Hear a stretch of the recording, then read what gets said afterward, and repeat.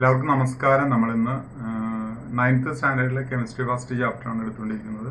ചാപ്റ്ററിന്റെ പേര് നിങ്ങൾക്കറിയാം. Structure of atom ആറ്റത്തിന്റെ സ്ട്രക്ചർ ആറ്റത്തിന് ആറ്റവുമായി ബന്ധപ്പെട്ടിട്ടുള്ള ചില കണ്ടുപിടുത്തങ്ങൾ. പ്രധാനപ്പെട്ട കുറേയധികം സയന്റിസ്റ്റുകളെ പറ്റി നമ്മൾ കണ്ടു. അവരുടെ തിയറി ആറ്റം തിയറി നമ്മൾ കണ്ടു.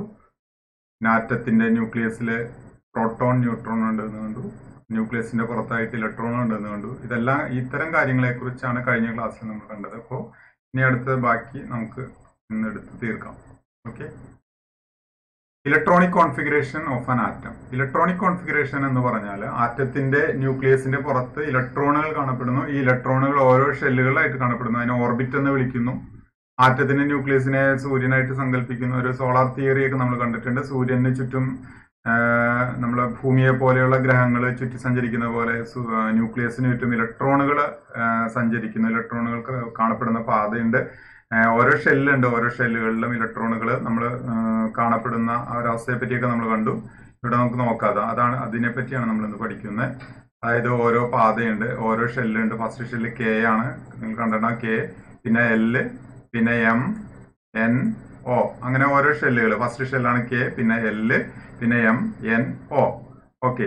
അപ്പോൾ നമ്മൾ ഒന്ന് മുതൽ പതിനെട്ട് വരെയുള്ള മൂലകങ്ങളുടെ ആറ്റം ആറ്റോമിക് നമ്പർ വെച്ചിട്ടുള്ള ആ ഇലക്ട്രോണിക് കോൺഫിഗറേഷൻ ആണ് എഴുതുന്നത്. നിങ്ങൾ നോക്കുക. ഹൈഡ്രജൻ ഹൈഡ്രജന്റെ അറ്റോമിക് നമ്പർ ഒന്നാണ് അല്ലേ? ഹൈഡ്രജൻ ആകെ ഒരു ഇലക്ട്രോണേ ഉള്ളൂ. അറ്റോമിക് നമ്പർ ഒന്നാണെങ്കിൽ ഇലക്ട്രോൺ ഒന്ന് തന്നെയാണ്. ആ ഒരു ഇലക്ട്രോൺ ആർക്ക് കൊടുക്കുന്നു? കേഷലിന് കൊടുക്കുന്നു. ഓക്കെ. അടുത്ത ഹീലിയമാണ് ഹീലിയത്തിന് രണ്ട് ഇലക്ട്രോൺ ഉണ്ട്. രണ്ട് അറ്റോമിക് നമ്പർ രണ്ടായതുകൊണ്ട് രണ്ട് ഇലക്ട്രോൺ ഉണ്ട്. ആ രണ്ട് ഇലക്ട്രോൺ കേക്ക് കൊടുത്തു. അടുത്ത ലിഥിയം ലിഥിയത്തിന്റെ അറ്റോമിക് നമ്പർ മൂന്നാണ്. മൂന്ന് ഇലക്ട്രോൺ ഉണ്ട്. അപ്പൊ മൂന്ന് ഇലക്ട്രോൺ ഉണ്ടെങ്കിൽ ഫസ്റ്റ് ഷെല്ലിന് അതായത് കെ ഷെല്ലിന് രണ്ടേ കൊടുക്കാൻ പറ്റുള്ളൂ. എത്ര ഉണ്ടെങ്കിലും അല്ലെ? പിന്നെ ബാക്കി ഒരെണ്ണം എല്ലിലേക്ക് പോയി. അടുത്ത ബെറീലിയം നാല് വന്നു. നാല് ഇലക്ട്രോൺ ഉണ്ട്. നാല് ഇലക്ട്രോണിന് കേക്ക് രണ്ട് കൊടുത്തു. ബാക്കി രണ്ട് എല്ലിന് കൊടുത്തു. ദെൻ നെക്സ്റ്റ് ഇസ് ബോറോൺ അഞ്ച്. അഞ്ച് ഇലക്ട്രോൺ ഉണ്ട്. അപ്പോ രണ്ട് കേക്ക് കൊടുക്കാൻ പാടുള്ളൂ. ബാക്കി മൂന്നെണ്ണം എല്ലിന് കൊടുക്കാം. ദെൻ നെക്സ്റ്റ് ഇസ് കാർബൺ കാർബണിന് ആറ് ഇലക്ട്രോൺ ഉണ്ട്. ആറ് അറ്റോമിക് നമ്പർ ആറായതുകൊണ്ട് ഇലക്ട്രോൺ ആറാണ് രണ്ടെണ്ണം കേക്ക് കൊടുത്തു. ബാക്കി നാലെണ്ണം എല്ലിന് കൊടുത്തു. ഓക്കെ ഇനി അടുത്ത് നോക്കുക നൈട്രജൻ പെട്ടെന്ന് പറഞ്ഞു പോകാം. നൈട്രജനിൽ ഏഴ് ഇലക്ട്രോൺ ഉണ്ട്. ഏഴ് ഇലക്ട്രോണിലേക്ക് ഇത് കേഷെല്ലാണെന്ന് ഓർക്കുക കേഷെല്ലിന് എത്ര കൊടുക്കും നമ്മൾ കെക്ക് നമ്മൾ രണ്ടു കൊടുക്കും. എല്ലിന് എട്ട് കൊടുക്കാം അല്ലെ? അപ്പൊ രണ്ടു കൊടുത്തിട്ട് ബാക്കി അഞ്ചെണ്ണം എല്ലിന് കൊടുത്തു. ദെൻ നെക്സ്റ്റ് ഓക്സിജൻ ഓക്സിജൻ എട്ടാണ്. ഇലക്ട്രോൺ എട്ട് ഉണ്ട്. കേക്ക് രണ്ടു കൊടുത്തു ബാക്കി ആറ് എല്ലിന് കൊടുത്തു ദ നെക്സ്റ്റ് ഇസ് എഫ് ആണ് ഫ്ലൂറോ ഫ്ലൂറ്. അപ്പോ അത് ഒമ്പതാണ്. ഒമ്പതിൽ കേക്ക് രണ്ട് ഏഴ്. ഇനി നിങ്ങൾ മൊത്തം ഒന്ന് നോക്കുക. ആ എഴുതിയിരിക്കുന്നു. നോക്കുക നിയോൺ ആണെങ്കിൽ പത്തെണ്ണം ഉണ്ട്. അപ്പൊ രണ്ട് എട്ട്. സോഡിയം ആണെങ്കിൽ പതിനൊന്നെണ്ണം ഉണ്ട്. രണ്ട് കേക്ക് കൊടുത്തു എല്ലിന് എട്ട് കൊടുത്തു ബാക്കി ഒരെണ്ണം അടുത്ത ഷെല്ലിലേക്ക് പോയി. അടുത്ത ഷെല്ല് ഏതാണ്? എം അപ്പൊ എമ്മിലേക്ക് പോയത് കണ്ടോ നിങ്ങൾ നിയോൺ രണ്ട് എട്ട് ഒന്നാണ് ഇലക്ട്രോണിക് കോൺഫിഗറേഷൻ മഗ്നീഷ്യം പന്ത്രണ്ടാണ് അപ്പൊ രണ്ട് എട്ട് രണ്ട്. ദെൻ പെട്ടെന്ന് ഇനി പറയാൻ പറ്റും. അലൂമിനിയം പതിമൂന്നെണ്ണം ഉണ്ട് അപ്പൊ രണ്ട്. ദെൻ നെക്സ്റ്റ് എട്ട് പിന്നെ മൂന്ന്. ഇനി സിലിക്കൺ പതിനാലുണ്ട് രണ്ട് എട്ട് നാല്. അടുത്ത പി ആണ് ഫോസ്ഫറസ് ദെൻ രണ്ട് എട്ട് അഞ്ച്. അടുത്ത എസ് എസ് എന്താണ്? എസ് സൾഫർ ആണ് രണ്ട് എട്ട് ആറ്. ദെൻ നെക്സ്റ്റ് ഇസ് ക്ലോറിൻ പതിനേഴാണ് അപ്പൊ രണ്ട് എട്ട് ഏഴ്. ആർഗൺ പതിനെട്ടാണ് രണ്ട് എട്ട് എട്ട്. അങ്ങനെയാണ് ഈ ഇലക്ട്രോണിക് കോൺഫിഗറേഷൻ നടത്തിയിരിക്കുന്നത്. അപ്പൊ കെ ഷെല്ലിന് മാക്സിമം രണ്ടേ കൊടുക്കാവൂ. എൽ ഷെല്ലിന് മാക്സിമം എട്ട് കൊടുക്കാം. എം ഷെല്ലിൽ പതിനെട്ട് കൊടുക്കാം. ഇവിടെ ഉള്ളതേ കൊടുക്കാൻ പറ്റുള്ളൂ. പതിനെട്ട് കൊടുക്കാന്ന് പറഞ്ഞാൽ പതിനെട്ട് കംപ്ലീറ്റ് ആയിട്ട് നിറയണമെന്നൊന്നുമില്ല. ഇവിടെ നോക്കുക. ഇതിനകത്തൊന്നും പതിനെട്ട് നിറഞ്ഞിട്ടില്ല. രണ്ട് എട്ട് രണ്ട് വരെ മാർഗൻ വരെ വന്നു. അടുത്തത് നോക്കൂ. Filling up electrons in shells is based on the following principle അതായത് ഇത് നമ്മൾ പഠിച്ചതാണ് കെ ഷെല്ലിന് മാക്സിമം രണ്ട് വരാൻ കാരണം ടു എൻ സ്ക്വയർ എന്നുള്ള ഒരു ഇക്വേഷൻ നമ്മൾ അപ്ലൈ ചെയ്തു.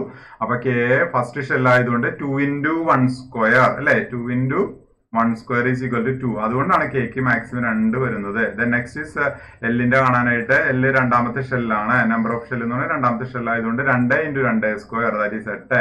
അടുത്ത എം വരുമ്പോഴോ രണ്ട് ഇന്റു മൂന്ന് സ്ക്വയർ മൂന്ന് സ്ക്വയർ ഒമ്പതാണ് ഒമ്പത് ഇന്റു രണ്ട് പതിനെട്ട് വരും. അപ്പൊ എമ്മിൽ എത്ര വരും? പതിനെട്ട് വരും.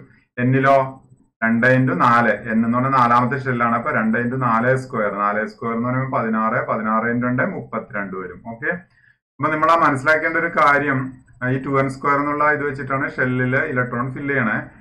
അങ്ങനെ ഫില്ല് ചെയ്യാൻ വേറെ കാരണം കൂടി ഉണ്ട്. അതിന് രണ്ടാമത്തെ പോയിന്റ് ആയിട്ട് കൊടുത്തിരിക്കുന്നു. Filling up of electrons in shells of higher energy happens only after the shells of lower energy are filled അതായത് ഇപ്പൊ കെയിനേക്കാളും എനർജി കൂടുതലാണ് എല്ലിന് അപ്പൊ കെക്ക് എനർജി കുറവാണ്. അപ്പൊ കെ ഫില്ല് ചെയ്തിട്ട് എല്ലിലേക്ക് പോകാവൂല അല്ലാതെ ആദ്യമേ തന്നെ ഇലക്ട്രോൺ കൊണ്ടുവന്ന് എല്ലിലേക്ക് ഫില്ല് ചെയ്യാൻ പാടില്ല. അപ്പൊ ലോ എനർജിയുള്ള കെ ഫില്ല് ചെയ്തിട്ട് എല്ലിലേക്ക് പോവാ.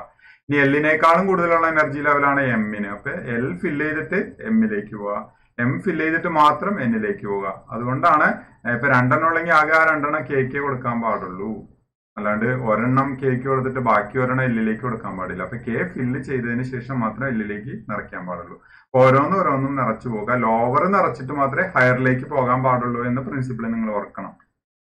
ഇവിടെ ബോർ മോഡൽ കൊടുത്തിട്ടുണ്ട്. നിങ്ങൾ നോക്കുക ഹൈഡ്രജന്റെ മോർ മോഡൽ ഹൈഡ്രജൻ ആകെ ഒരു ഇലക്ട്രോണേ ഉള്ളൂ. ന്യൂട്രോൺ സീറോ ആണ് കണ്ടില്ലേ? അപ്പൊ ആ ഒരു ഇലക്ട്രോൺ നമ്മൾ കൊടുത്തു. അവിടെ വരച്ചിരിക്കുന്ന നോക്കുക ബോർ മോഡലാണ് അടുത്ത ഹീലിയത്തിന് രണ്ട് ഇലക്ട്രോൺ ഉണ്ട്. ആ രണ്ടും ഫസ്റ്റ് ഷെല്ലിലേക്ക് കേക്ക് കൊടുത്തു. ഫസ്റ്റ് വര ആ വൃത്തം. ആദ്യം ആ തുടക്കത്തിൽ കാണുന്നത് ന്യൂക്ലിയസ് ആണ്. രണ്ട് പ്രോട്ടോൺ രണ്ട് ന്യൂട്രോൺ അടുത്ത ലിഥിയത്തിന് മൂന്നെണ്ണം ഉണ്ട്. അപ്പൊ ആദ്യത്തെ കെ ഷെല്ലിൽ രണ്ടെണ്ണം നിറച്ചിട്ട് ബാക്കി അടുത്ത ഷെല്ലായി എല്ലിലേക്ക് ഒരെണ്ണം നിറച്ചു. ബെറീലിയത്തിന് രണ്ട് രണ്ടാണ്. അപ്പൊ കെ ഷെല്ലിൽ രണ്ട് നിറച്ചു പിന്നെ രണ്ട് എൽ ഷെല്ലിൽ നിറച്ചു. ദെൻ ബോറോൺ മൂന്ന് രണ്ട് മൂന്ന് അഞ്ചെണ്ണം ഉണ്ട്. അപ്പോൾ ആദ്യത്തെ ഷെല്ലിൽ രണ്ടെണ്ണം. രണ്ട് അവിടെ കണ്ടില്ല? നിങ്ങൾ കാണുന്നുണ്ടാവാം. പിന്നെ അടുത്തത് മൂന്നാം എൽ ഷെല്ലിലേക്ക് മൂന്ന് ഇലക്ട്രോൺ കൊടുത്തിരിക്കുന്നു. ദെൻ കാർബൺ രണ്ട് നാലാണ്. രണ്ടെണ്ണം ആദ്യത്തേൽ പിന്നെ നാലെണ്ണം അടുത്തേൽ അപ്പൊ വൃത്തിയായിട്ട് വരയ്ക്കുക നിങ്ങൾ ഈ ബോർ മോഡൽ വരയ്ക്കുമ്പോഴും ഒരു ഭംഗിയിലൊക്കെ വരയ്ക്കുക ഇതേപോലെ തന്നെയൊക്കെ വരച്ച് വരച്ച് പഠിക്കാനായിട്ട് ശ്രമിക്കുക. ഓക്കെ? അടുത്ത ഐസോട്ടോപ്പ് എന്നൊരു പുതിയ ഒരു സംഭവത്തിലേക്ക് നമ്മൾ വരികയാണ്. എന്താണ് ഐസോട്ടോപ്പ് ഇവിടെ പ്രോട്ടിയം ഡ്യൂട്ടീരിയം ട്രിഷ്യം അങ്ങനെ മൂന്ന് സംഭവങ്ങൾ വന്നിട്ടുണ്ട്. ഇതൊരു ബോർ മോഡലാണ്. പ്രോട്ടിയം ഡ്യൂട്ടീരിയം ട്രിഷ്യം എന്ന ആ മൂന്നെണ്ണത്തിന് പ്രത്യേകം നോക്കിക്കോട്ടെ. ഈ മൂന്നെണ്ണത്തിനും പ്രോട്ടോണിന്റെ എണ്ണം സെയിം അല്ലേ നോക്കി ഒരു പ്രോട്ടോൺ ഒരു പ്രോട്ടോൺ ഒരു പ്രോട്ടോൺ. ഡ്യൂ പ്രോട്ടിയത്തിന്റെ പ്രോട്ടോൺ ഒന്ന് ഡ്യൂട്ടീരിയത്തിന്റെ അത് തന്നെ ട്രിഷ്യത്തിന്റെ തന്നെ. പക്ഷേ പ്രോട്ടിയത്തിന്റെ പ്രോഷ്യം ആ പ്രോഷ്യത്തിന്റെ ന്യൂട്രോൺ സീറോ ആണ്. പക്ഷെ ഡ്യൂട്ടീരിയത്തിലേക്ക് വന്നപ്പോൾ ന്യൂട്രോൺ ഒരെണ്ണമുണ്ട് റഷ്യത്തിലേക്ക് വന്നപ്പോൾ ന്യൂട്രോൺ രണ്ടെണ്ണം ഉണ്ട്. അപ്പൊ ന്യൂട്രോണിന്റെ എണ്ണത്തിൽ വ്യത്യാസം വന്നു. അപ്പൊ നമ്മൾ അത് ഫില്ല് ചെയ്യണം.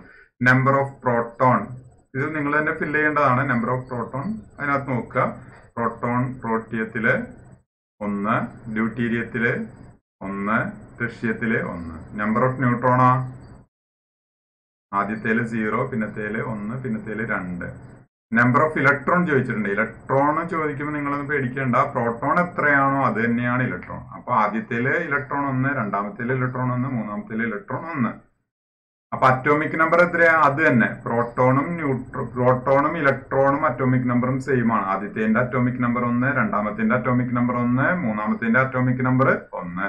അപ്പൊ അറ്റോമിക് നമ്പർ സെയിം ആണ് കേട്ടോ അടുത്തത് എഴുതുമ്പോൾ ശ്രദ്ധിക്കുക. മാസ് നമ്പർ മാസ് നമ്പർ എന്ന് പറഞ്ഞാൽ ന്യൂ ന്യൂക്ലിയസിൽ എത്രയുണ്ട് നോക്കാം ആദ്യത്തേൽ പ്രോട്ടിയത്തിൽ ഒന്നും പൂജ്യമാണ്. ഒന്നും പൂജ്യം വരുമ്പോൾ എത്രയാണ്? ഒന്ന് തന്നെ.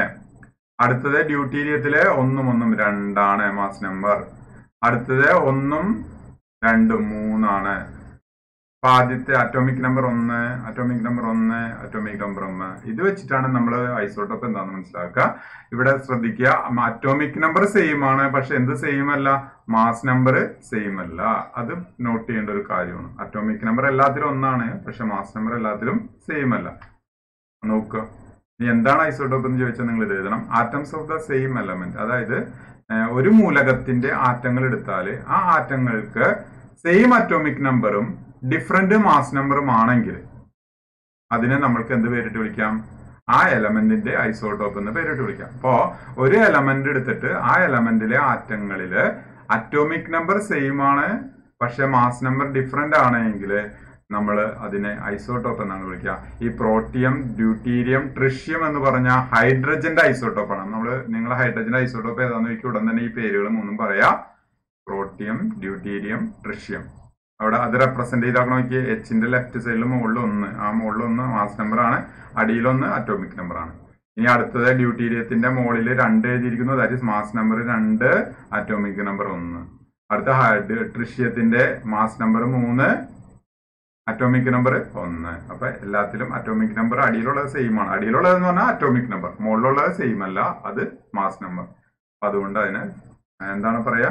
ഐസോട്ടോപ്പ് ഉണ്ടെന്ന് പറയാം. ഇത് ആരുടെ ഐസോടോപ്പ് ആണ് ഹൈഡ്രജന്റെ ഐസോടോപ്പ് ആണ് the isotopes of an element show slight difference in their physical property ഇവയുടെ ഫിസിക്കൽ പ്രോപ്പർട്ടിയിൽ ചെറിയ വ്യത്യാസം ഉണ്ടാവാം but their chemical properties are the same ഇവയുടെ കെമിക്കൽ പ്രോപ്പർട്ടി സെയിം ആയിക്കുള്ളൂ ഫിസിക്കൽ നോക്കുമ്പോൾ ഫിസിക്കൽ അപ്പിയറൻസിൽ വ്യത്യാസം ഉണ്ടെങ്കിലും കെമിക്കൽ ആയിട്ടുള്ള പ്രത്യേകതകളൊക്കെ same ആയിക്കുള്ളൂ most of the elements have isotope മിക്ക എലമെന്റുകൾക്കും ഇത്തരത്തിൽ ഐസോട്ടോപ്പ് ഉണ്ട്.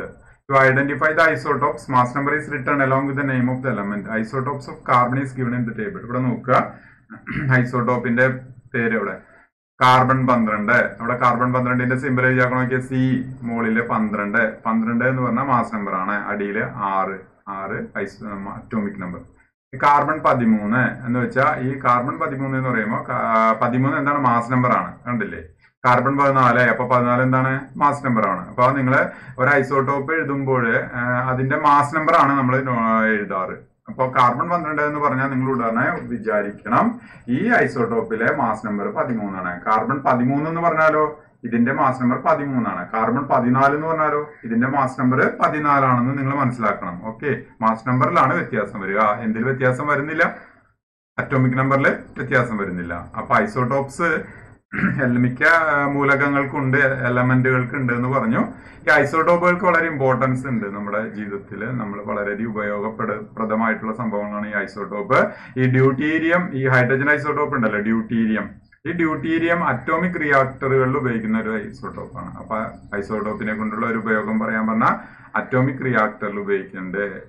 ഉദാഹരണമായിട്ട് ഹൈഡ്രജന്റെ ഐസോട്ടോപ്പായ ഡ്യൂട്ടീരിയം ഇനി കാർബണിന്റെ ഐസോട്ടോപ്പ് ഒരു കാർബൺ പതിനാല് നമ്മൾ കണ്ടു. കാർബൺ പതിനാല് ശരിക്കും പറഞ്ഞാൽ നമ്മൾ ഈ ഫോസിലുകളൊക്കെ ഉണ്ടല്ലോ.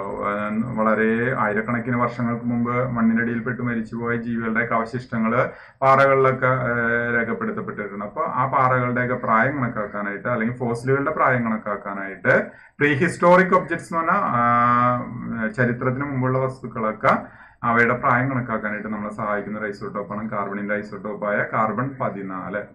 അടുത്തത് ഫോസ്ഫറസിന്റെ ഐസോട്ടോപ്പാണ് ഫോസ്ഫറസ് മുപ്പത്തൊന്ന്. മുപ്പത്തൊന്ന് എന്ന് പറഞ്ഞാൽ എന്താ ഉദ്ദേശിക്കുന്നത് എന്തായിരിക്കും ഉദ്ദേശിക്കുക? മുപ്പത്തൊന്ന് മാസ് നമ്പർ ആണ് അപ്പൊ ഫോസ്ഫറസിന്റെ ഐസോട്ടോപ്പായ ഫോസ്ഫറസ് മുപ്പത്തൊന്ന് ട്രൈസർ ന്യൂട്രിയന്റ് എക്സ്ചേഞ്ച് പ്ലാന്റിൽ ന്യൂട്രിയന്റിന്റെ എക്സ്ചേഞ്ചുകൾ നടക്കുന്നുണ്ടോ എന്ന് അത് ചെക്ക് ചെയ്യാനായിട്ട് നമ്മൾ ഉപയോഗിക്കുന്ന ഐസോട്ടോപ്പാണ് ഫോസ്ഫറസിന്റെ ഐസോട്ടോപ്പായ ഫോസ്ഫറസ് മുപ്പത്തിയൊന്ന്. മറക്കാതിരിക്കുക ഐസോട്ടോപ്പിന് വളരെ പ്രാധാന്യമുണ്ട്. എന്താണ് ഐസോട്ടോപ്പ് അറ്റോമിക് നമ്പർ സെയിം ആണ്. മാസ് നമ്പർ ഡിഫറെന്റ് ആയിട്ടുള്ള ഒരു എലമെന്റിന്റെ ആറ്റങ്ങളെയാണ് ഐസോടോപ്പ് എന്ന് പറയുക സെയിം എലമെന്റ് തന്നെയാണ് കേട്ടോ അത് ഓർക്കണം. ഐസോടോപ്പ് എന്ന് പറഞ്ഞു നിങ്ങൾ അതുപോലെ തന്നെ പഠിക്കേണ്ട ഒരു കാര്യമാണ് ഐസോ ബാർ ഇവിടെ നോക്കുക isobar ആറ്റ isobar are atoms having the same mass number but different atomic number നേരെ തിരിച്ചാലോചിക്കുക. നേരത്തെ നമ്മൾ പറഞ്ഞ ഐസോടോപ്പ് എന്ന് പറഞ്ഞാൽ മാസ് നമ്പർ സെയിം അല്ല അറ്റോമിക് നമ്പർ സെയിം ആണ്. പക്ഷെ ഇവിടെ നോക്കുക ഒരേ അത് ഒരേ എലമെന്റ് തന്നെയാണ്. പക്ഷെ ഐസോബാർ എന്താന്ന് വെച്ചാൽ മാസ് നമ്പർ സെയിം ആണ്. പക്ഷെ അറ്റോമിക് നമ്പർ സെയിം അല്ല. ഇവിടെ നേരെ തിരിച്ച്. അറ്റോമിക് നമ്പർ ഇവിടെ സെയിം അല്ല. മാസ് നമ്പർ സെയിം ആണ്. ഓക്കെ ഇവിടെ എലമെന്റ് സെയിം ആവില്ല കേട്ടോ. അത് പ്രത്യേകം നോട്ട് ചെയ്യണേ.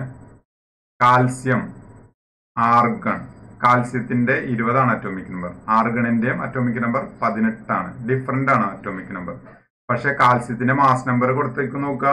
കണ്ടില്ലേ നിങ്ങൾ അത് ഇവിടെ ഈ ടേബിളാണ് കാൽസ്യത്തിന്റെ മാസ് നമ്പർ നാൽപ്പതാണ് ആർഗണിന്റെ മാസ് നമ്പർ നാൽപ്പതാണ് അപ്പൊ അറ്റോമിക് നമ്പർ സെയിം അല്ല പക്ഷെ എന്ത് സെയിം ആണ്? ഈ രണ്ട് മൂലകങ്ങളും രണ്ട് ഡിഫറെന്റ് മൂലകങ്ങളാണ്. ഈ രണ്ട് ഡിഫറെന്റ് മൂലകങ്ങളുടെയും മാസ് നമ്പർ സെയിം ആണ്. ഇതാണ് ഇതിനെ വിളിക്കുന്ന പേരാണ് ഐസോബാർ അപ്പൊ ഡിഫറെന്റ് എലമെന്റ് ആയിരിക്കും എന്നുള്ള കാര്യം പ്രത്യേകം നോട്ട് നോട്ട് ചെയ്യേണ്ടതാണ്. Atoms with same number of neutrons are called isotone ഇനി എന്താണ് ഐസോട്ടോൺ അപ്പൊ ഐസോബാർ എന്താണെന്ന് വെച്ചാൽ നിങ്ങൾ എന്ത് പറയും? അറ്റോമിക് നമ്പർ സെയിം അല്ല മാസ് നമ്പർ സെയിം ആയിട്ടുള്ള ഡിഫറെന്റ് എലമെന്റുകളുടെ ആറ്റങ്ങളെയാണ് ഐസോബാർ എന്ന് പറയുക ഇനി ഐസോട്ടോൺ എന്താണെന്ന് അറിയണം ഐസോട്ടോൺ എന്ന് പറഞ്ഞാൽ ന്യൂട്രോണിന്റെ എണ്ണം സെയിം ആയിട്ടുള്ള സംഭവങ്ങൾ. ഇവിടെ നിങ്ങൾ നിങ്ങൾ നോക്കുക. നൈട്രജൻ നിങ്ങൾ കണ്ടില്ലേ? നൈട്രജനും കാർബണും അവിടെ കൊടുത്തിരിക്കുന്നു. നൈട്രജനും കാർബൺ നൈട്രജൻ നൈട്രജന്റെ അറ്റോമിക് നമ്പർ ഏഴാണ്. കാർബണിന്റെ അറ്റോമിക് നമ്പർ ആറാണ്. ഓക്കെ ഇനി അടുത്തത് നൈട്രജന്റെ പതിനഞ്ചാണ് മാസ് നമ്പർ പതിനഞ്ച്. അറ്റോമിക് നമ്പർ ഏഴാണ്. അപ്പൊ ന്യൂട്രോൺ എത്ര? എട്ട്. അല്ലേ? അടുത്ത കാർബൺ കാർബണിന്റെ മാസ് നമ്പർ പതിനാലാണ്. അറ്റോമിക് നമ്പർ എത്ര? ആറാണ്. അപ്പൊ മാസ് നമ്പർ ആണ് അത് കുറച്ച് നോക്കുമ്പോൾ എട്ട് കിട്ടും. ഇനി നോക്കിയ രണ്ടിന്റെയും ന്യൂട്രോണിന്റെ എണ്ണം. സോറി ഇത് രണ്ട് നമ്മൾ ന്യൂട്രോണിന്റെ എണ്ണം കണ്ടുപിടിച്ചേട്ടാ അപ്പൊ ന്യൂട്രോണിന്റെ എണ്ണം കണ്ടുപിടിക്കാനായിട്ട് നിങ്ങൾ എന്താ ചെയ്യുക? ന്യൂട്രോണിന്റെ എണ്ണം കണ്ടുപിടിക്കാനായിട്ട് മാസ് നമ്പർ ചെയ്യുന്നത് അറ്റോമിക് നമ്പർ കുറച്ചാൽ മതി അല്ലേ? മാസ് നമ്പർ നിന്ന് ദാറ്റ് ഈസ് പതിനഞ്ചിൽ നിന്ന് ഏഴാണ് കുറച്ചാൽ മതി. പ്രോട്ടോണിന്റെ എണ്ണം കുറച്ചാൽ മതി. പ്രോട്ടോണും ന്യൂട്രോണും കൂട്ടുമ്പോഴാണ് മാസ് നമ്പർ കിട്ടണമെന്ന് പറഞ്ഞു. അപ്പൊ മാസ് നമ്പർ തന്നിട്ടുണ്ടെങ്കിൽ പ്രോട്ടോണിന്റെ എണ്ണം തന്നിട്ടുണ്ടെങ്കിൽ ന്യൂട്രോണിന്റെ എണ്ണം കണ്ടുപിടിക്കാനായിട്ട് ആ പതിനഞ്ചിൽ നിന്ന് ഏഴ് കുറച്ചോ എട്ട് കിട്ടി പതിനാലിൽ നിന്ന് ആറ് കുറച്ചോ എട്ട് കിട്ടി. ഇതൊക്കെ ന്യൂട്രോൺ ആണ്. ന്യൂട്രോൺ സെയിം ആണ്. അപ്പൊ ന്യൂട്രോൺ സെയിം ആയിട്ടുള്ള ആറ്റങ്ങളെയാണ് നമ്മൾ എന്ത് പേരിട്ട് വിളിക്കുക? ഐസോട്ടോൺ എന്ന് പേരിട്ട് വിളിക്കുക. ഇതും ഡിഫറെന്റ് എലമെന്റ് ആണ്. നൈട്രജൻ കാർബൺ ഒക്കെ ഡിഫറെന്റ് എലമെന്റ് ആണല്ലോ. അപ്പൊ ന്യൂട്രോൺ സെയിം ആയിട്ടുള്ള ആറ്റങ്ങളെയാണ് ഐസോട്ടോൺ എന്ന് വിളിക്കുക. മാസ് നമ്പർ സെയിം ആയിട്ടുള്ള ആറ്റങ്ങളെയാണ് ഐസോ ബാർ എന്ന് വിളിക്കുക. അറ്റോമിക് നമ്പർ സെയിം ആയിട്ടുള്ള ആറ്റങ്ങളെയാണ് ഐസോടോപ്പ് എന്ന് വിളിക്കുക. മൂന്ന് നമ്മൾ പഠിച്ചു അല്ലേ? ഇനി അയഡിൻ ഇവിടെ അയഡിൻ നൂറ്റി മുപ്പത്തൊന്ന് കൊടുത്തിട്ടുണ്ട്. കൊബാൾട്ട് അറുപത് കൊടുത്തിട്ടുണ്ട്. ഇത് ശരിക്കും പറഞ്ഞാൽ ക്യാൻസർ ട്രീറ്റ്മെന്റിനൊക്കെ ഉപയോഗിക്കുന്ന തല തലയിൽ ട്യൂമർ ഒക്കെ വന്നാൽ അത് ട്രീറ്റ്മെന്റ് നടത്താൻ ഉപയോഗിക്കുന്ന രണ്ട് മെഡിക്കൽ ഫീൽഡിൽ ഉപയോഗിക്കുന്ന ഐസോട്ടോ ഐസോട്ടോപ്പുകളാണ് കാർബൺ കൊബാൾട്ടും അയഡിനും ഇനി യുറേനിയം ഇരുന്നൂറ്റി മുപ്പത്തഞ്ച് ശരിക്കും ആയിട്ട് ഉപയോഗിക്കുന്ന ഒരു അറ്റോമിക് റിയാക്ടറിൽ ഫ്യൂവൽ ആയിട്ട് ഉപയോഗിക്കുന്ന ഒരു ഐസോട്ടോപ്പാണ് symbols of certain elements are given in the table ഒന്ന് ഒമ്പത്. അവിടെ കൊടുത്തിട്ടുണ്ട്. നോക്കാം നമുക്ക്. ഓക്കെ അപ്പൊ ഐസോട്ടോപ്പ് ഐസോബാർ ഐസോട്ടോൺ ഓക്കെ ഒന്ന് പഠിച്ചോ? ഐസോടോപ്പ് എന്താണെന്ന് നമ്മളിപ്പോൾ പഠിച്ചു. ഐസോ ബാർ എന്താണെന്ന് ഇപ്പൊ ലെഫ്റ്റ് സൈഡിൽ കൊടുത്ത് നിങ്ങൾ പഠിച്ചു. ഐസോട്ടോൺ എന്താണ്? ന്യൂട്രോൺ സെയിം ആയിട്ടുള്ളത്. നോക്കുക. നിങ്ങൾ എന്നെ സ്വയം എഴുതണം. ഞാൻ പറയാം. ഓക്സിജൻ പതിനഞ്ചാണ് മാസ് നമ്പർ അറ്റോമിക് നമ്പർ എട്ടാണ്. അപ്പൊ അറ്റോമിക് നമ്പർ എന്ന് ചോദിക്കുമ്പോൾ നിങ്ങൾ ഇവിടെ തന്നെ എത്ര എഴുതണം? ഇവിടെ. ഒരെണ്ണം ഞാൻ ചെയ്തുതരാം ബാക്കി നിങ്ങൾ ചെയ്യണേ. ഇവിടെ എട്ട്. ഓക്കെ. മാസ് നമ്പർ എത്രയാണ്? പതിനഞ്ച്. പതിനഞ്ച്. പ്രോട്ടോൺ എത്രയാ? അറ്റോമിക് നമ്പർ എട്ടാണ്. പ്രോട്ടോൺ എട്ട്. ഇനി ഇലക്ട്രോൺ ഇലക്ട്രോൺ എട്ട് തന്നെ. ന്യൂട്രോൺ കണ്ടുപിടിക്കാൻ എന്താ ചെയ്യണമെന്ന് പറഞ്ഞേ? ന്യൂട്രോൺ കണ്ടുപിടിക്കാനായിട്ട് മാസ് നമ്പർ നിന്ന് പ്രോട്ടോണിന്റെ എണ്ണം കുറയ്ക്കുക. അതായത് പതിനഞ്ചിൽ നിന്ന് എട്ട് കുറയ്ക്കുക. ഏഴ് കിട്ടും. ഇങ്ങനെയാണ് കണ്ടുപിടിക്കുന്നത് അടുത്ത കൊണ്ട് വേണമെങ്കിൽ പറഞ്ഞുതരാം. അറ്റോമിക് നമ്പർ എത്രയാണ് ഇവിടെ? എട്ട്. അല്ലേ? മാസ് നമ്പർ പതിനാറ്. അടുത്ത പ്രോട്ടോൺ എട്ട്. ഇലക്ട്രോൺ എട്ട് തന്നെ ഇനി ന്യൂട്രോൺ കാണാൻ പറയുമ്പോൾ പതിനാറിൽ നിന്ന് നമ്മൾ എട്ട് കുറയ്ക്കും. അപ്പൊ എട്ട് തന്നെ ഓക്കെ അടുത്ത നിങ്ങൾ ചെയ്യാം. നമ്മൾ ഇത്രയും കാര്യങ്ങളാണ് കണ്ടത്. എന്താ കണ്ടു? ഐസോട്ടോപ്പ് എന്താണെന്ന് പഠിച്ചു? ഐസോ ബാർ എന്താന്ന് പഠിച്ചു? ഐസോ ടോൺ എന്താന്ന് പഠിച്ചു? ഐസോടോപ്പ് എന്താണ്? ഐസോടോപ്പ് എന്ന് പറഞ്ഞാൽ സെയിം മാസ് നമ്പർ ആണ് പക്ഷെ ഡിഫറെന്റ് അറ്റോമിക് നമ്പർ ആണ് അല്ലെ? സെയിം മാസ് നമ്പർ ആണ് പക്ഷെ ഡിഫറെന്റ് മാ ഒരു മിനിറ്റ് കേട്ടോ സോറി അതായത് ഐസോടോപ്പ് എന്ന് പറഞ്ഞാൽ ഐസോടോപ്പ് എന്ന് പറയുമ്പോൾ മാസ് നമ്പർ സെയിം ആവില്ല അറ്റോമിക് നമ്പർ സെയിം ആയിരിക്കും. അങ്ങനെയല്ലേ നമ്മൾ കണ്ടത്? അതെ. ഇനി ഐസോ ബാർ എന്ന് പറഞ്ഞാൽ എന്താണ്?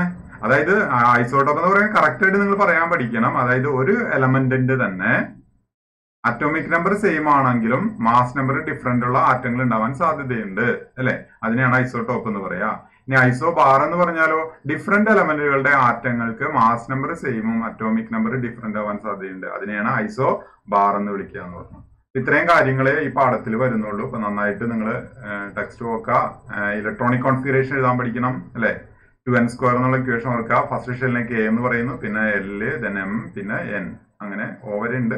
നിങ്ങൾ കെ എൽ എം വരെ കറക്റ്റ് ആയിട്ട് ഓർത്തിരിക്കുക.